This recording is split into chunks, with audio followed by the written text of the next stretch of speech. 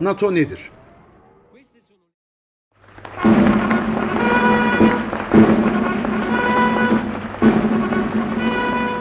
NATO 1949 yılında emekçi sınıfların eşitlik ve özgürlük mücadelesine karşı ABD'nin öncülüğünde Britanya, Kanada, Fransa, İtalya, Norveç, İzlanda, Portekiz, Belçika, Hollanda, Lüksemburg ve Danimarka tarafından kuruldu. 1952'de Türkiye ve Yunanistan, 1955'te Batı Almanya ve 1982'de İspanya'nın katılmasıyla NATO'nun üye sayısı 16'ya yükseldi.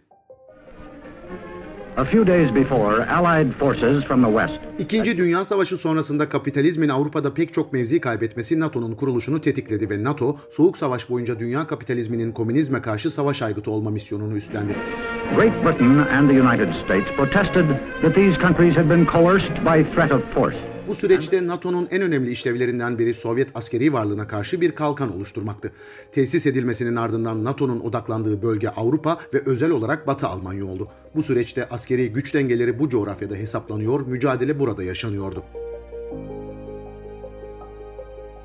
Öte yandan Soğuk Savaş'ta mücadele ağırlıklı olarak ideoloji, siyaset ve sanat alanlarında ilerliyordu. Bu bağlamda NATO, özellikle ileri kapitalist ülkelerin içine dönük müdahaleyi merkezi ve kurumsal bir biçime kavuşturmak ve aynı zamanda ideolojik saldırılara destek olmak üzere askeri bir yapılanma sağlamak işlevini üstlendi. Bu amaçla örgütlenen Gladio yapılanması Türkiye ve Batı Avrupa ülkelerinde çalışmalarını yoğunlaştırdı. The establishing of this integrated force meant first Bir yandan kapitalist devletlerin içinde önemli bir yer kapladı, bir yandan da özellikle 70'li yıllardan itibaren insan hakları söylemini iç politikanın bir parçası haline getirmeye çalıştı. Bu ideolojik bombardımanla Avrupalı komünist partiler sürekli sıkıştırılmaya çalışıldı. Komünist partilerin toplumsallaşma kanalları bazen şiddet yoluyla, bazen siyasal ve ideolojik kampanyalarla engellenmeye çalışıldı. Aynı zamanda anti-Sovyetik sol hareketler hararetle desteklendi. NATO'ya bağlı birimler bu etkinliklerin gövdesini oluşturuyordu.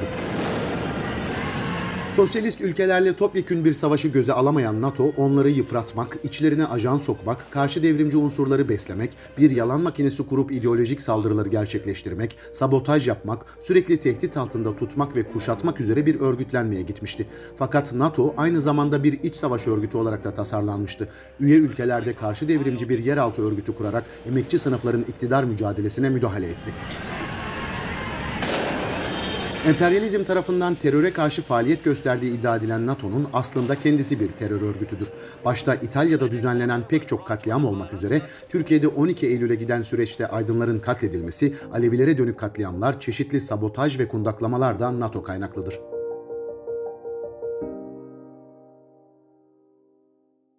Reel sosyalizm sonrasında NATO Sovyet Sosyalist Cumhuriyetler Birliği'nin bir karşı devrimle çözülmesi sonrasında NATO'nun işlevi önce belirsizleşti, ardından yeni bir içeriğe kavuştu. NATO'nun varlığının gerekli olduğunu kanıtlamak için yoğun bir çaba sarf edildi. Emperyalizm, sosyalizmin yıkılmasının yarattığı boşluğu NATO aracılığıyla doldurmaya çalıştı.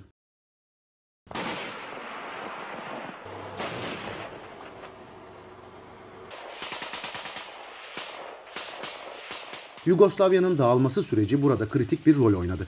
Ağırlıklı olarak Almanya ve ABD'nin sorumluluğunda gerçekleşen bu parçalanma öyküsü NATO'yu Avrupa'da vazgeçilmez hale getirdi.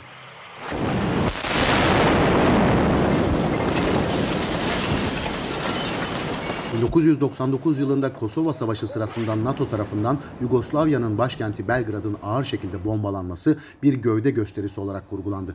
Askeri anlamının ötesinde sembolik bir işlev de üstlendi. 1999'dan başlayarak eski sosyalist Doğu Avrupa ülkelerinin bir bölümünün katılmasıyla NATO'nun üye sayısı 30'a yükseldi.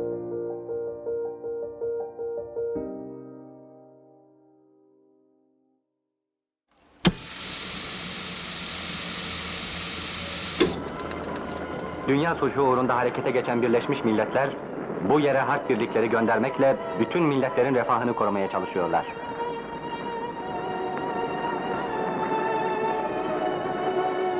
Ajans haberlerini veriyor radyosu Rahmi Beylerin. Uzak Asya'da bir memleket. Sarı yüzlü insanlar beyaz bir ejderhayla dövüşmekteler. Gönderildi seninkilerden 4500 tane Mehmet kardeşlerini katletmeye. Kızarıyor yüzün öfkeden ve utançtan. Ve öyle umumiyetle filan değil, sırf sana ait eli kolu bağlı bir hüzün. Karını arkadan itip yere yuvarlamışlar da düşürmüş gibi çocuğunu. Yahut karakoldaymışın da karakolda gene dövülüyormuş gibi köylü jandarmalara köylüler. Her can kazanılmak istenen bir hayat uğrunadır.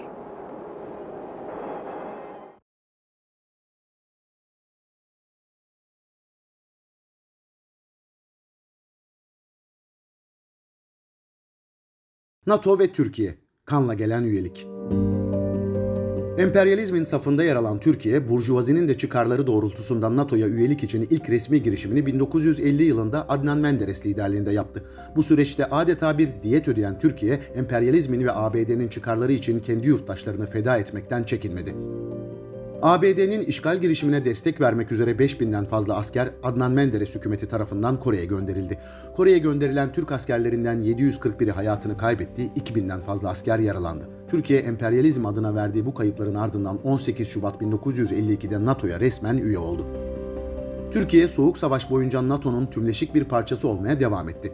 Türkiye'nin de emperyalizmden yana bir tarafı olduğu 1962 füze krizi Soğuk Savaş döneminin sıcak savaşa yaklaşılan en kritik uğraklarından biri oldu.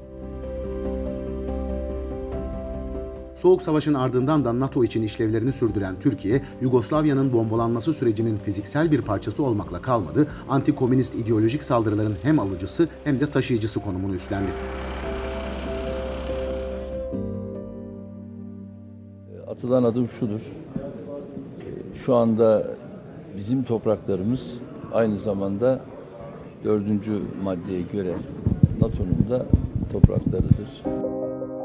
NATO ve emperyalizm politikaları 21. yüzyılda da Türkiye dış siyasetinin ve Türkiye-ABD ilişkilerinin büyük bir belirleyeni olmaya devam etti.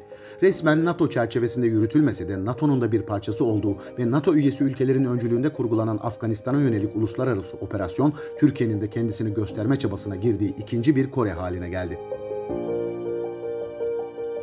2021 yılında ABD askerlerinin Afganistan'dan çekilmesi ve Taliban'ın yeniden kontrolü ele geçirmesi sonrasında trajediyle sonuçlanan Afganistan müdahalesi NATO ve emperyalist odakların kana susamışlıklarını sona erdirmedi. Kapitalist açgözlülük ve saldırganlığın yol açtığı yıkımlar bugün de devam ediyor.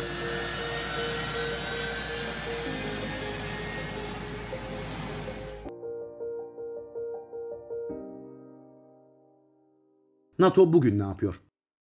NATO bugün özellikle Akdeniz ve Kuzey Afrika, Karadeniz, Balkanlar ve Doğu Avrupa'da aktif operasyonlarını sürdürüyor. NATO'nun 1997 sonrasındaki genişleme hamlelerinin ağırlıkla Rusya'yı kıstırmak üzere doğuya yöneldiği görülüyor. Her yıl değişik ülkelerden çok sayıda askerin katıldığı geniş çaplı tatbikatlar düzenleniyor. 2021'de NATO, Avrupa'da 10 yıllardır yapılan en büyük tatbikatı düzenledi. Defender Europe 21 adı verilen tatbikat, çok sayıda NATO üyesi ülkenin katılımıyla çeşitli Doğu Avrupa ülkelerini kapsayan büyük bir bölgede Rusya'ya yönelik askeri hazırlıklar çerçevesinde yapıldı. Ayrıca NATO üyesi olmayan Ukrayna ve Gürcistan birlikleri de NATO tatbikatlarında yer alıyor. NATO'nun provoke ettiği son kriz bugün Ukrayna ve Gürcistan'ın NATO üyeliği gündemi üzerinden yaşanıyor. Özellikle Ukrayna, Rusya'ya yönelik saldırganlığın koçbaşı haline getiriliyor. Bu süreçte artan sıcak çatışma olasılığı bölge ülkelerini de etkiliyor ve halkları tehlikeli bir girdabın içine sürüklüyor.